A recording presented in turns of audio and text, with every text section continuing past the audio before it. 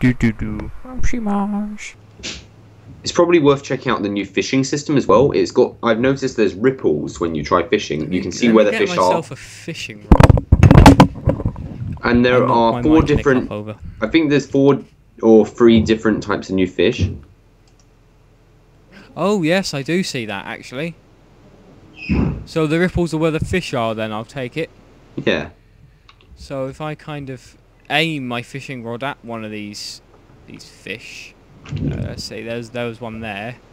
Let's see if I can catch a fish right around where that fish was. Okay, now he's over there. It's kind of like a RuneScape fishing now, isn't it? You see these little spots, and that's where the fish are. Yeah. Fishing's still the most boring thing in Minecraft.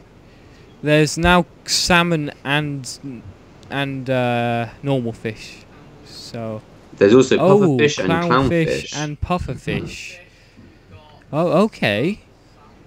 That's interesting. This is cheat code eating fish. He's showing you what each fish does to you. Uh, clearly, pufferfish kills you, so uh, don't eat fish. Basically, uh, well, don't eat pufferfish. Eat the other fish, not pufferfish. Is my advice. Um, so yeah, this is just Nathan's bit. Oh, he paused it. I don't know why. Okay, so this is cooked salmon now. Nom nom nom nom. Lovely. And uh, now I don't I don't know what this fish is, but it's it's a it's one fish. I'm not sure.